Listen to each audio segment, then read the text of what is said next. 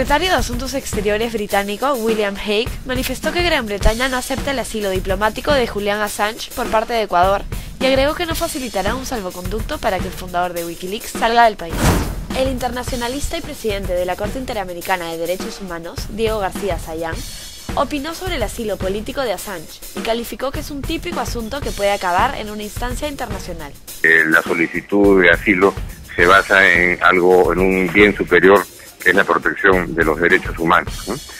Entonces mi impresión es que este es el típico asunto que puede acabar en una instancia internacional de solución.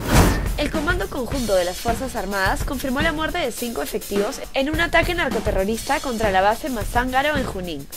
Además, señalaron que se están realizando las acciones correspondientes para su traslado. Tres inmuebles valorizados aproximadamente en 3 millones de soles fueron embargados a la sentenciada por terrorismo Elena Iparraguirre.